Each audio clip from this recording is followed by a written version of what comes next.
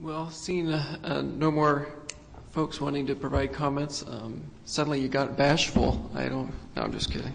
Um, Well, I just want to thank everybody for coming to today's competition workshop. I think we heard a number of issues today, and we learned a lot from our panelists, and I thank them for taking the time to participate today. I especially want to thank the president of Alabama A&M, and I, and all the folks here at the, at the university that did everything they could to get everything ready, and they did a great job, and I thank them greatly for doing that. Um, I also thank our folks at USDA and DOJ for helping get all the logistics and everything put together.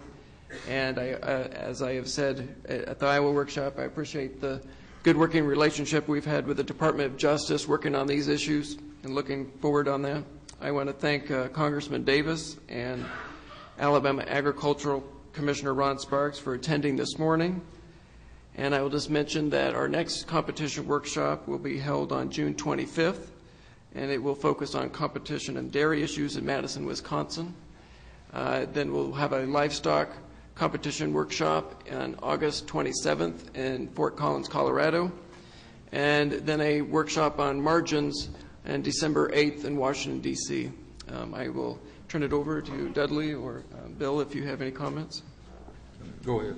Uh, I just want to reiterate um, on behalf of the Department of Justice our thanks to Alabama A&M University. It's been uh, truly a privilege for us to be here, and a lot of people put in a lot of work behind the scenes to to get this um, to get this event going, and, and, and uh, I think we had a really good and productive day today.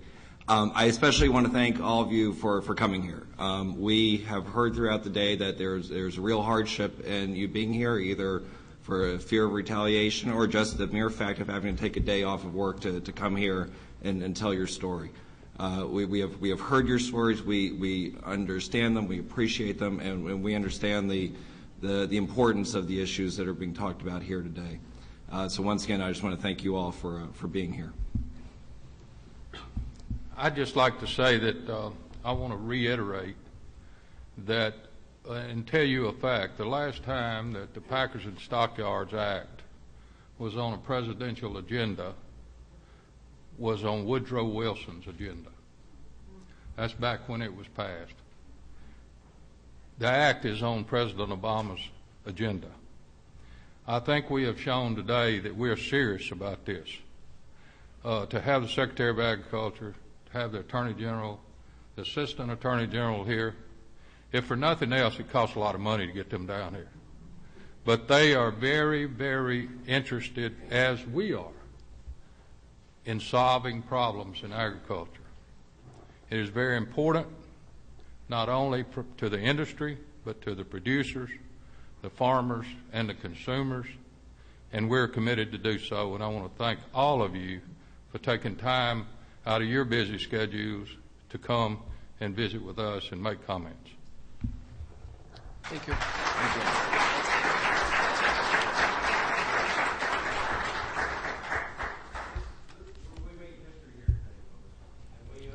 Thanks to these people right here, so they need a really big hand